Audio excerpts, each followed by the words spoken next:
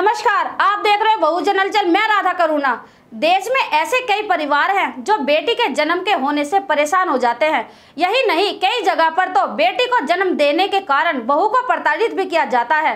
लेकिन कई परिवार ऐसे भी हैं जो परिवार में बेटी के जन्म होने पर बहुत खुश हो जाते हैं, जिनकी मिसाल दुनिया में दी जाती है। उन्हीं में से एक है महाराष्ट्र के किसान जो अपनी पोती के जन्म से इतने खुश हैं कि उन्होंने पोती को घर लाने के लिए हेलीकॉप्टर तक बुक कर दिया है। एक लड़की का दादा पोती के जन्म से इतना खुश हुआ कि वह बच्ची को ननिहाल से लाने के लिए हेलीकॉप्टर लेकर पुणे के सेवालगढ़ी पहुँच गया। उसने अपने और बहू के परिवार को हेलीकॉप्टर से सैर कराई और तीन दिन से मिठाई भी बांट रहा है। उसने पूरे गाँव का भोज भी किया है। यह खबर सोशल मीडिया पर बहुत तेज़ी से वायरल हो रही है। इसकी लोग सराहना भी कर रहे हैं। मामला पुणे में बालवाड़ी इलाके का है। अजीत पांडुरंग बलवड़कर मंगलवार को दादा बने। खबर लगते ही उन्होंने एक लाख रुपए में हेलीकॉप्टर बुक किया। बच्ची के घर आने पर पांडुरंग ने पूरे गाँव में मिठाई बांटी।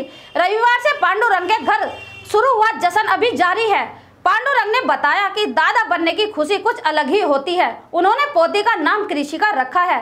मेरा सपना था कि मेरी पोती हो और मैं ऐसे ही उसका जश्न मनाऊं। जब पोती के जन्म की खबर मिली तो मैं फूला नहीं समाया और लगा, आज क्या कर जाऊँ? नाचू, गाऊं? आज भगवान ने मेरा सपना साकार कर दिया है। पांडुरंग ने मिठाइयाँ भी बंटवाई, ढोल भी बजवाए। पांडुरंग की इस पहल की हर तरफ़ चर्चा हो रही है। बेटी और बेटे में अंतर समझने वालों के लिए यह एक संदेश भी है। आपको ये खबर कैसी लगी? इस पर आपकी क्या राय है? कमेंट्स बॉक्स में ज़रूर लिखें। फिर मिलेंगे नई खबर के साथ। धन्यवाद।